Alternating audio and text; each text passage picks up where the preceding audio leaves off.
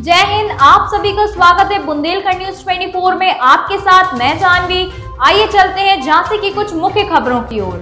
जानकारी के अनुसार मऊरानीपुर तहसील के बंगरा ब्लॉक की ग्राम पंचायत तेजपुरा घुराट में लोगों को पीने का पानी नहीं मिल रहा है, जिससे आज को लोगों ने राष्ट्रीय राजमार्ग हाईवे पर घर गृहस्थी के बर्तनों को रखकर सड़क पर आंदोलन किया। ग्रामीणों ने बताया कि पहले जो हैंडपम्प लगे थे, उनकी गहराई अधिक थी।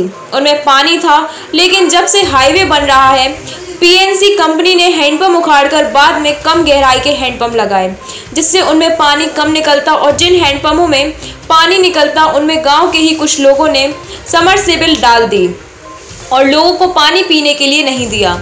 बहुत सारे परिवार पीने के पानी के लिए दर दर भटक रहे हैं। पीएनसी कंपनी के द्वारा की गई लापरवाही को शासन प्रशासन ने अभी तक नजरअंदाज किया है। अभी तक कोई भी कार्रवाई नहीं की गई है। यह एक बहुत बड़ा भ्रष्टाचार है जो शासन की आँखों के सामने हो रहा है और इसका खामियाजा गाँव के लोगों को भुगतना पड़ रहा है। लोगों ने शासन प्रशासन से अपील की है कि उन्हें जल्द से जल्द पानी की व्यवस्था कराई जाए और जो लोग सरकारी हैंडपम्पों में समर डाले हैं उनको निकलवाया जाए। जाम की सूचना पर मौके पर पहुँचे थाना प्रभारी सकरार गोपाल सिंह यादव ने लोगों को समझा बुझा कर जाम खुलवाया। मऊरानीपुर से संवाददाता जगदीश की रिपोर्ट। मेरा नाम दीपू राजा। कहाँ के रहने वाली हो? तेजपुरा घुराट क्या समस्या है? पानी की बहुत जटिल समस्या है। अभी क्या है कि एक तो लाइट की समस्या है। लाइट तो आ जाती चली जाती तो जितना होता है उतना सहयोग कर देते हैं। लेकिन और गाँव वासी कहाँ जाएँगे?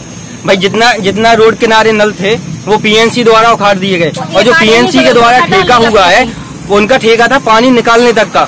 जिनने टेंडर लिया था उनने केवल 50 से 60 फीट तक नल बोर किया है। बोलते वो मेरा इतना ही हुआ। मेरे पास इतना ही का ठेका ये ये थोड़ी ना होता। और जिसमें पानी निकला है तो जिसके दरवाजे है तो वो सरकारी संपत्ति को अपनी पर्सनल संपत्ति बना रहे हैं। बोले किसी के बाप की नहीं है मेरे बाप की है।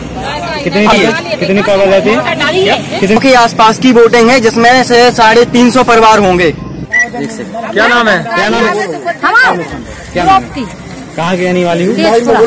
क्या दिक्कत आ रही है? आप जो रोड पे बर्तन रखे हैं पानी पानी की दिक्कत है और हमें कोई समस्या नहीं है। बस पानी की व्यवस्था हो जाए हमें कोनो दिक्कत नहीं है। और ये पानी पानी की समस्या कम से कम पूरे जब से रोड बनो तो वहीं से है परेशान हम लोग तो पानी के लिए। है?